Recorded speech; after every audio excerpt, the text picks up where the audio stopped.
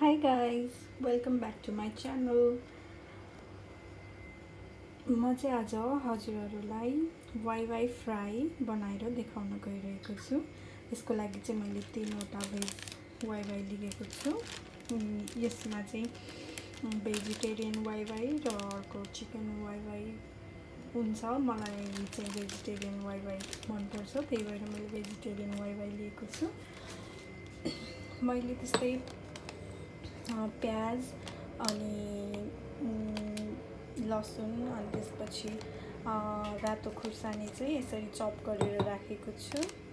यो हो मसरुम अनि यो चाहिँ एउटा ठुलो टमाटर चप गरेर राखेको छु अनि यो चाहिँ धनियाँ अनि यो चाहिँ फ्रोजन फ्रोजन मकै र त्यसमा चाहिँ सँगसँगै फ्रोजन केराउ पनि मिक्स भएको छ। यहाँहरूले नर्मल केराउ अथवा अरू केटागुडी जे युज गर्नुभए पनि हुन्छ। मलाई चाहिँ यो फ्रोजन मकै र फ्रोजन केराउ मनपर्ने भएकाले मैले चाहिँ युज गर्दैछु। अब यसलाई बनाउन सुरु गर्दैछु। वाइवाई फ्राई गर्नको लागि चाहिँ हामीलाई फर्स्टमा चाउचाउलाई उसिनेर निकाल्नु पर्ने हुन्छ। त्यसको लागि चाउचाउ चाहिँ नफुटाइकन यस्तो भाँडामा राखेर म चाहिँ यसमा तातो पानी राख्दैछु।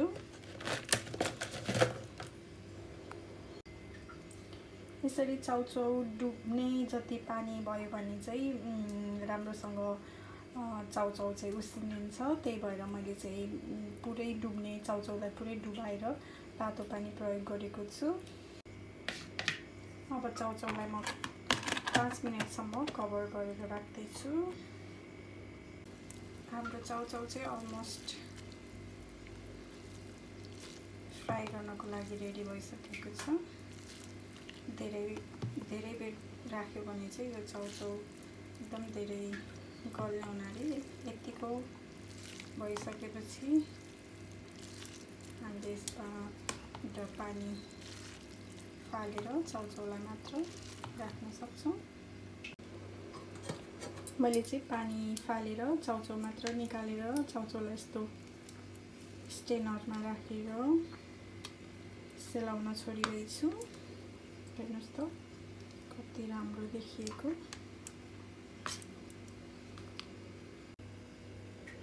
तेल तातिसकेपछि म यसमा जिरा पुऱ्याउँदैछु।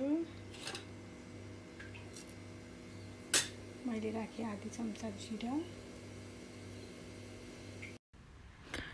जिरा फुलिसकेपछि म यसमा अघि काटेर राखेको प्याज लसुन र खुर्सानी फुराउन गइरहेको छु। यसलाई गोल्डन ब्राउन हुन्जेलसम्म फुराउनु पर्दछ।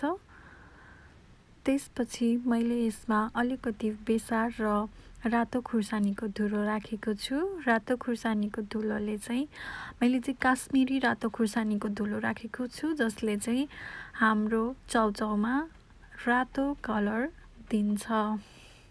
राम्रोसँग चलाएर यसलाई गोल्डन ब्राउन हुने जेलसम्म फ्राई गर्नुपर्ने हुन्छ।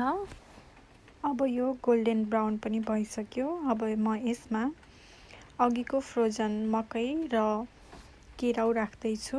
फ्रोजन मकै र केराउ चाहिँ फ्रोजनमा राखिएको हुनाले यसबाट पानी आउँछ। त्यसैले पानी सुकाउनु पर्ने हुन्छ। हजुरहरूले अर्को नर्मल केराउ अथवा कुनै केरागुडी युज गर्दै हुनुहुन्छ भने पनि त्यसलाई राम्रोसँग पकाउनु होला। म चाहिँ यसलाई यसको पानी नसुकिन्जेलसम्म पकाउँछु र यो पाकिसकेको जस्तो देखिन्छ। अब यो यसबाट सबै पानी निस्किसकेपछि अब म यसमा च्याउ राख्न गइरहेको छु। अघिको च्याउ अथवा मसरुम राख्दैछु। मसरुमलाई पनि राम्रोसँग पकाउनु पर्ने हुन्छ। त्यही भएर मैले चाहिँ मसरुमलाई राम्रोसँग मिक्स गरेर छोपेर दुई मिनट जस्तो मसरुम पाक्नको लागि छोड्दैछु। अब मसरुम पनि पाकिसकेको छ। यो गोल्डन ब्राउन जस्तो देखिन्छ। अब यसमा म टमाटर राख्न गइरहेको छु। मैले चाहिँ अघि काटेर राखेको टमाटर राखेँ। राम्रोसँग मिक्स गर्दैछु। अब मैले यसमा एक चम्चा जिरा र धनियाँको पाउडर राखेको छु। त्यसपछि मैले चाउचाउमा आउने सबै खाले मसला जस्तै चाउचाउ मसला अनि घिउ अनि खुर्सानी राखेको छु। त्यो सबै मसला राखेर यसलाई म दुई मिनट जस्तो छोपेर पकाउँदैछु। मसला हल्का ड्राई भएको जस्तो लाग्यो भने दुई तिन चम्चा जस्तो पानी राखेर यसलाई राम्रोसँग चलाएपछि यो अलिकति ड्राई हुँदैन। मलाई चाहिँ यसरी ड्राई नभएको मनपर्छ। त्यसैले मैले दुई तिन चम्चा जस्तो पानी राखेर यसलाई राम्रोसँग मिक्स गरेको छु। अब यो मिक्सर रेडी भएपछि अब म यसमा चाहिँ चाउचाउ राख्नलाई रेडी बनाउँदैछु। यतिको भइसकेपछि अब हामी यस अब हामी यसमा चाउचाउ राखौँ। अहिले चाहिँ चाउचाउ राखेर अब यस्तो ट्रङ्कले ट्रङ्कले राम्रोसँग राम्रोसँग मिक्स गर्नुपर्छ।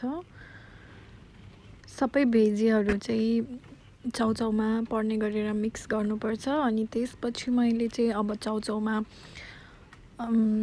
अलिअलि धनियाँ राखेर एकछिन आधी मिनटको लागि पकाएको छु। त्यसपछि लगभग हाम्रो चाउचाउ चाहिँ ready to ready to eat हुन्छ। चाउचाउ चाहिँ सबै राम्रोसँग मिक्स भएपछि एकदम राम्रो देखिएको छ। म चाउचाउलाई अझ स्वादिष्ट बनाउनको लागि यो मोरक्कन सिजनिङ राख्दैछु। यो चाहिँ अप्सनल हो। हजुरहरूसँग छैन भने नराख्नु भए पनि हुन्छ। मोरक्कन राखिसकेपछि म चाहिँ चाउचाउलाई राम्रोसँग फेरि मिक्स गर्छु।